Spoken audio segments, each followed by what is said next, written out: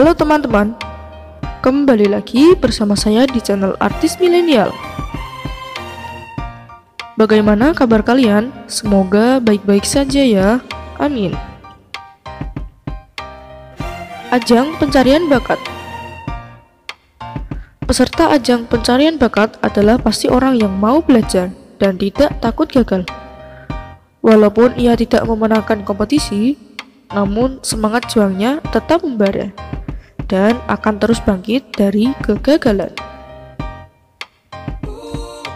Empat peserta LIDA ini contohnya, siapa dan kenapa sih mereka? Sebelum saya lanjut ke videonya, bagi kalian yang belum klik tombol subscribe, silahkan klik tombol subscribe dan hidupkan loncengnya, karena semua itu gratis. Tonton sampai selesai dan jangan skip video ini agar tidak salah paham. Oke, lanjut videonya. Ya, empat peserta LIDA 2020 Indosiar ini adalah peserta yang mau bangkit dari kegagalan.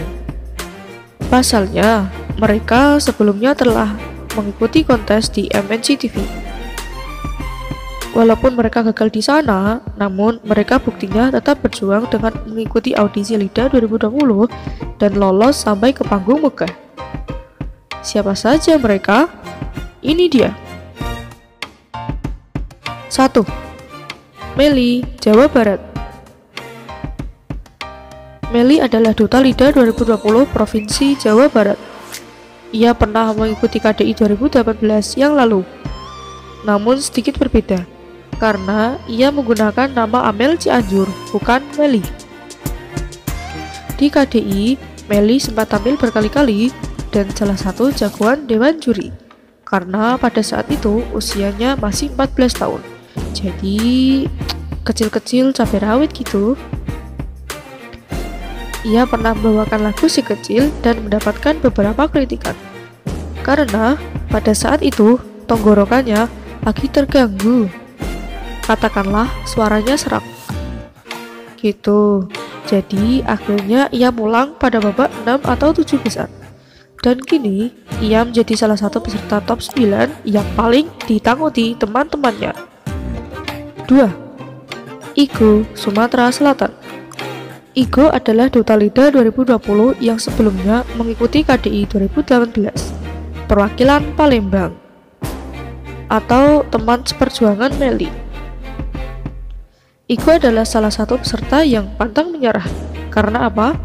Karena sebelumnya ia juga telah mengikuti audisi D4 dan mendapatkan golden ticket dan pernah menjadi perwakilan Sumatera Selatan pada nominasi LIDA 2018 yang lalu bersama Rara juga tiga teman lainnya.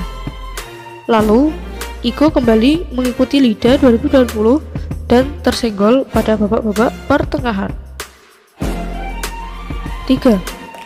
Agung Bengkulu Agung adalah Duta Provinsi LIDA 2020 yang juga sebelumnya telah mengikuti KDI 2018 bersama Meli dan Iko.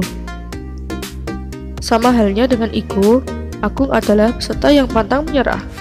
Ia juga pernah menjadi perwakilan Bengkulu pada nominasi LIDA 2018 bersama Randa dan tiga teman lainnya. Agung adalah peserta yang multi talenta. Dia bisa main gitar dan piano. Namun sayangnya, di LIDA 2020, langkah Agung berhenti pada babak 18 besar kalau nggak salah. Coba di komen di bawah. 4. Wulan Banten Wulan adalah peserta LIDA 2020 yang patut diunggulkan karena kualitasnya yang luar biasa. Wulan berbeda dengan tiga peserta tadi. Ia bukan jebolan KDI, namun ia adalah peserta kontes di MD Show. Tetapi di channel TV yang sama yaitu MNC TV. Ternyata di DMD pun, ia adalah peserta yang diunggulkan. Sama dengan Meli, kecil-kecil cabai rawit. Kini, ia kembali berjuang menjadi top 9 LIDA 2020. Nah, itu dia tadi empat peserta LIDA 2020 yang sebelumnya adalah alumni kontes di MNC TV. Siapa jagoan kalian? Komen di bawah ya. Apa pun kontesnya, dari mana ia berasal, dan dari jebolan mana ia, yang pasti tetap semangat untuk semuanya. Semoga tetap terus berkaya. Amin. Oke, mungkin sampai sini dulu videonya. Jangan lupa like, comment, share, subscribe karena semua itu gratis. Mohon maaf apabila ada salah penyebutan nama, kalimat, dan lain-lain. Support terus channel ini agar bisa lebih maju dan berkembang. Stay safe and healthy, tetap produktif di rumah aja.